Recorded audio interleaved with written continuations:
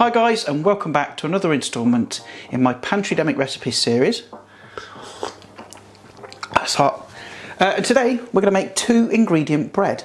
Now before I get into this video I should remind everybody, I say reminding, we should all know what's going on by now. It's currently April 2020, the world is going through a global crisis the likes of my generation have never seen before. So I'm going to remind you again, please follow your respective government's advice. For us in the UK, we're on lockdown, so that means we can only go out for essential items, to and from work if we can't work from home, exercise once a day, keep washing your hands, and if you do have to go out, keep two meters apart. Right, so onto the bread. Now, this is a really simple bread to make, and I was a bit kind of dubious at first, but I was on Facebook looking at a group, and someone posted a picture of this bread that used only two ingredients, and I was like, ooh, I want to give that a try. So I asked the person who posted it, they sent me the recipe, and this is it. And does it work? Well, yes, it does. How do I know? Because I made some the other day. Admittedly, I did scorch the bottoms a bit. You can see they're a little bit dark, but that's my own fault. Um, I hadn't got any baking parchment, so I put them on tin foil, which obviously transmits heat. So of course they're gonna burn. But actually, that bit was quite nice. It's like a really nice toasty flavour. But you can see, it's bread. That's actual bread. All right, that's what we're gonna make. So let's crack on with it. I'll show you what to do. Again, if you look down below in the description, you can get all the ingredients that you need. If you get your face down here, I'll show you what to do.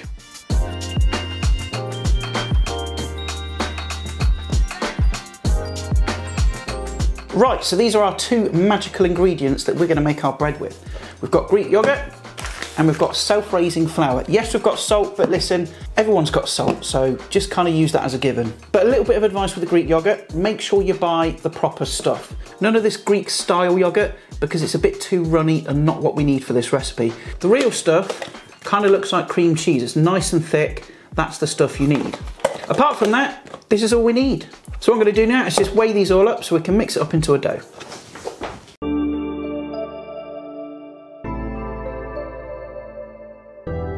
Okay, so I've got my flour weighed out. I'm gonna pop that into a mixing bowl.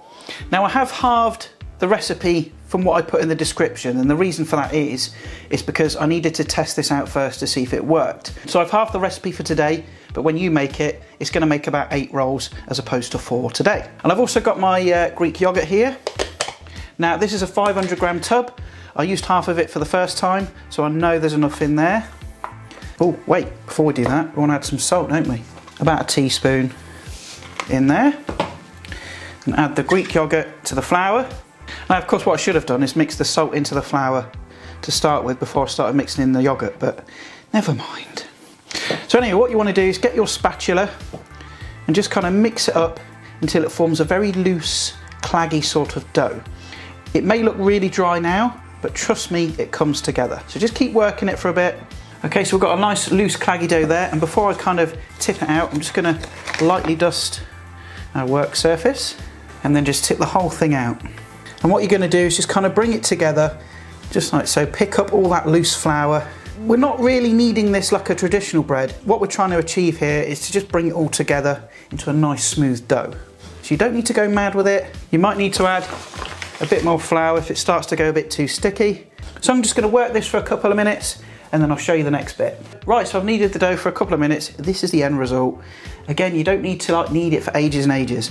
It's a nice soft dough, and what I'm gonna do is cut that into four. But remember, if you're making the full recipe, you're gonna need to make it into eight, so half, and then half, and then so on and so on. But I'm only making four rolls, so I'm only gonna make it into four pieces. Amazing that, isn't it? And just lightly dust them. And all you're gonna do is just form them into little balls like a bread roll size. So I'm gonna crack on with the rest of these. We'll finish them off with some egg wash and we can bang them in the oven. Right, so I've got the dough in a tray here. Now, if you've got baking parchment, just use that, all right? I haven't got any, so I've had to kind of improvise, and I've just lightly dusted a roasting tray with some flour. And what I've got here is one egg, lightly beaten with a pinch of salt, and what the salt does is it breaks up the white, which means it's less sort of gloopy. If you haven't got egg, you can use some melted butter, or just a brush of milk as well.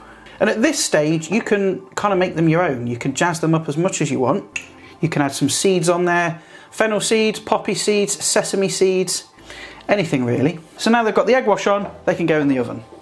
Now you want to bake them off for about 20 to 30 minutes, all depends on your oven really. About gas mark 5, I'll put the conversion up on the screen now. Now you're not going to see a lot of rise in them, they're not going to sort of swell up to these nice big sort of bread rolls, but you are going to see a slight bit of lift. And once you've baked them off, you want to put them on a wire rack or a plate just to cool down to room temperature before we can eat them.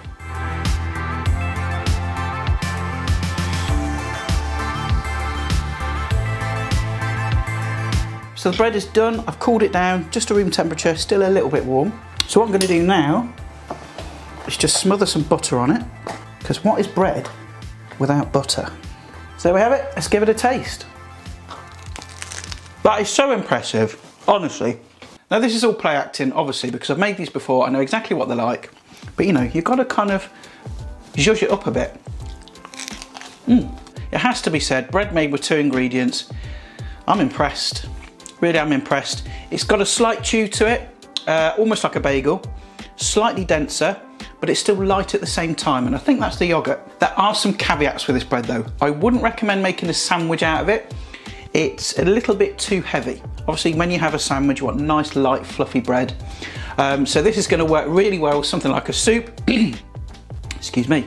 Something like a soup, a stew, casserole. You can sort of dunk it in, it's gonna soak up all the nice juices and it's going to be really nice. But something like a bacon sandwich, mm, I don't think so. I think it'd be quite nice toasted under the grill with some butter, some nice jam on it, a bit like a scone. But an absolutely cracking little bread to make. If you've got some self-raising flour kicking around, some Greek yogurt, you can make it. Now I should say that this isn't my recipe as such. I did convert it into metric and sort of change the measurements just slightly just to fit in with how we do things in the UK. But if you want to read about it, see the full recipe, go along to the link in the description at recipegirl.com. Now that wraps up today's video guys. Thanks again for watching. If you enjoyed it, please like, share and subscribe. And if you wait at the end of this video, you'll see the playlist for all the recipes I've done in this series. And remember, stay safe, stay calm, look out for each other, and I'll see your gorgeous faces in the next video, and bye for now.